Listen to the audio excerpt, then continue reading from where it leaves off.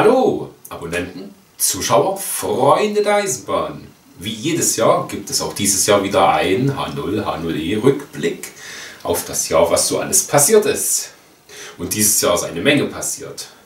Von Bäumen pflanzen, Büsche, Sträucher, begrasen, Gleise schottern, ja, Carsystem umbauten, LPG-Bau da drüben. Das war ja davor ein, naja, sagen wir mal, da stand nur ein Feuerwehrgebäude.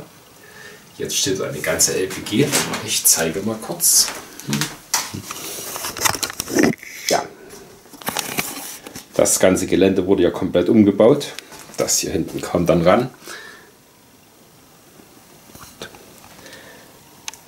Alle Gleise wurden hier geschottert. H0E, H0. Das Dreischienengleis auch schon teilweise. Hier sowieso. Büsche und Begrasung kam dazu. Und hier das ganze LPG-Gelände. Dann hatten wir noch Car-System-Umbauten. Da gibt es alles im Kanal zu sehen. Die Icarus-Busse, der W50.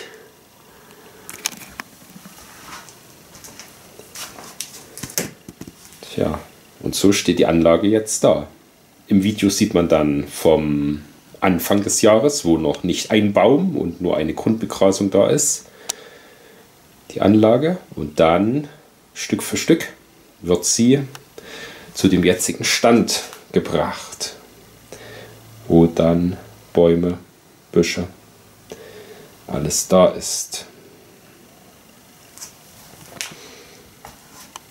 Als letzte Neuheit kam dann noch die TT-Anlage hier hoch. Da wurde ja die Pico 83 in TT mit Sound vorgestellt. Auch im Kanal zu sehen. So, im Jahresrückblick gibt es dann natürlich auch jede Menge Loks zu sehen. Alle, die dieses Jahr dazugekommen sind. Von der Pico 83 bis zur 118 FDJ vom BW Aue, die noch gar nicht vorgestellt wurden. Aber naja, wir zeigen sie schon mal. Kommt dann nächstes Jahr. So, lange Rede, kurzer Sinn. Viel Spaß beim neuen Video.